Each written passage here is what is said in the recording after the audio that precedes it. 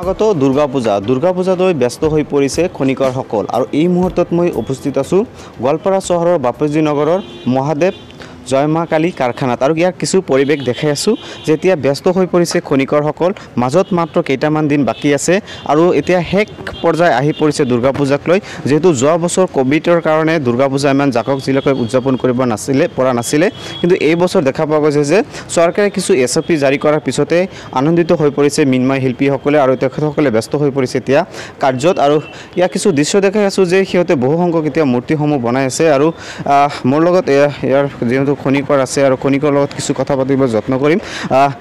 দাদা আপোনাৰ ওচৰত আহিছোঁ। এইবছৰ দেখা পোৱা গৈছে যে চৰকাৰেও একে বিশেষ এটা পদক্ষেপ লৈছে দুৰ্গা পূজা উদযাপনৰ ক্ষেত্ৰত। তো এই ক্ষেত্ৰত কি ক'ব আপুনি?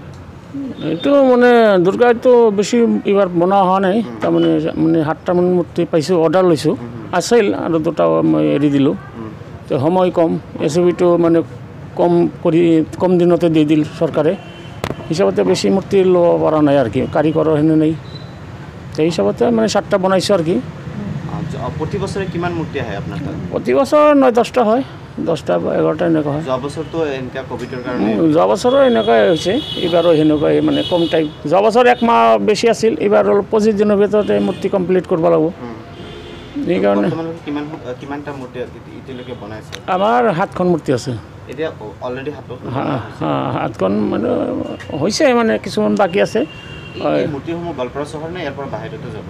গোৱালপাৰাৰে চব গোৱালপাৰাৰ ভিতৰতে। এইবাৰ মূৰ্তিৰ চাইজ কিন্তু বিশেষ এটা কিমান সৰু উম, কৰিছে? এনে এবাৰ পাঁচ ফুট কৰি কৈছে। পাঁচ ফুট ডাঙৰ কৰিলে মানে অসুবিধা হয় ক'ভিডৰ কাৰণে। পাঁচ ফুট বনাইছোঁ আৰু কি। পাঁচ ফুট।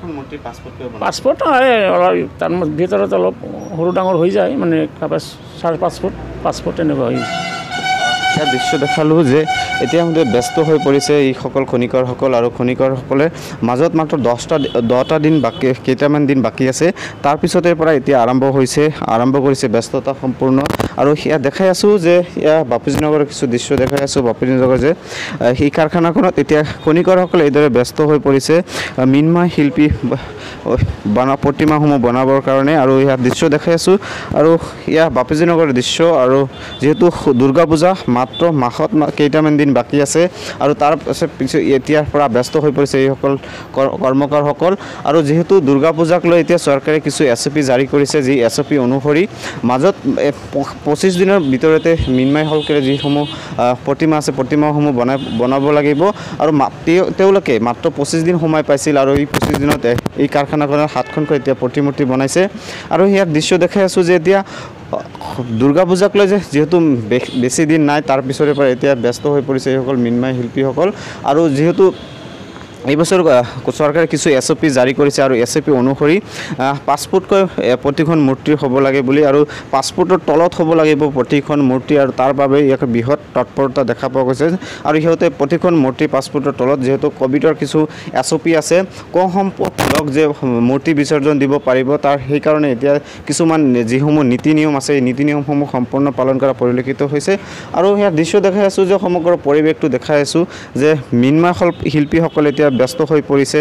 প্ৰতিমাসমূহ বনোৱাৰ কাৰণে আৰু ইয়াৰ দৃশ্য দেখাই আছোঁ। এয়া সেইসকল বহু সংখ্যক লোক এতিয়া যিহেতু দুৰ্গা পূজালৈ মাজত মাত্ৰ কেইটামান দিন বাকী আছে তাৰপিছৰ পৰা এনেকৈ ব্যস্ত হৈ পৰিছে মৃন্ময় শিল্পীসকল। আৰু ইয়াৰ দৃশ্য দেখাই আছোঁ বাপুজী নগৰৰ যি মৃন্ময় কা- কাৰখানা আছে এই কাৰখানাৰ কিছু দৃশ্য দেখালোঁ আপোনালোকক।